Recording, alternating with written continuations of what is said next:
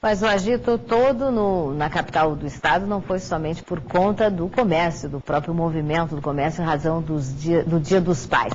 Guido Chivarsman, políticos, empresários também agitaram o centro da capital, protestando. É verdade, Maria Helena. A manifestação que aconteceu no sábado reuniu representantes da Federação das Indústrias de Santa Catarina e também da Câmara de Dirigentes e Lojistas, além de, como você falou, deputados e outros políticos, representantes da classe política. Eles protestam contra a cobrança da CPMF, que deveria ser provisória e está aí mais do que permanente. A medida polêmica deve ser votada no Congresso em setembro.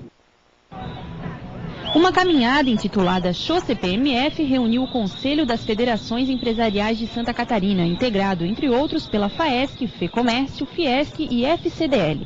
Com faixas, apitos, cartazes e panfletos, os manifestantes percorreram as principais ruas da cidade. O objetivo foi mobilizar no sentido da não aprovação da contribuição provisória sobre movimentação financeira, cuja votação no plenário da Câmara Federal está prevista para este ano. O tributo surgiu com a finalidade de buscar recursos para o precário sistema de saúde existente no Brasil.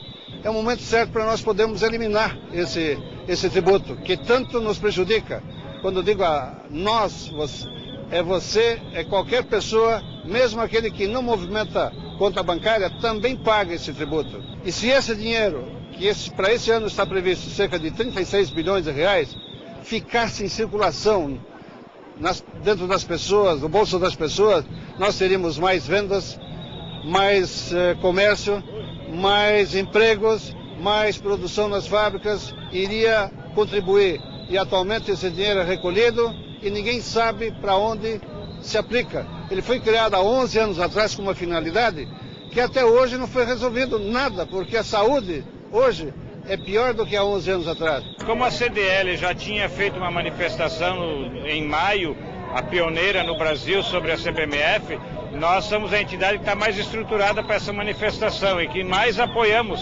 a extinção da CPMF. As manifestações de sábado ocorreram simultaneamente em Florianópolis, Blumenau, Chapecó e Tubarão. Outras caminhadas estão sendo organizadas pelo movimento Show CPMF em nove cidades do estado, entre elas Itajaí, Lages e Criciúma.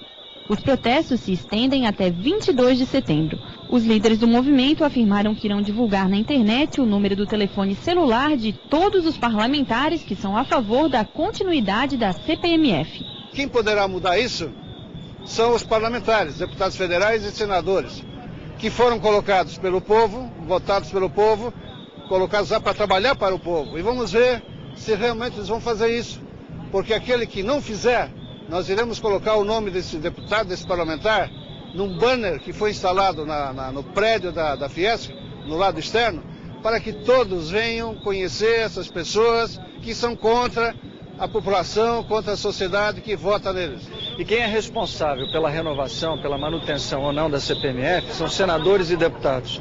E durante a eleição, esses mesmos senadores e deputados tiveram os seus eleitores pedindo voto, dizendo que iam diminuir o imposto que o brasileiro paga, que é mais de 40% de tudo que ele ganha vai de imposto para o governo, dizendo não ao aumento de impostos. Agora é o momento de cobrar, é o momento que está chegando a hora da razão no Congresso Nacional e que o eleitor pode cobrar do seu deputado a posição que ele assumiu lá na eleição de diminuir impostos. Portanto, a CPMF tem prazo para acabar 31 de dezembro desse ano, é o único imposto que tem esse prazo.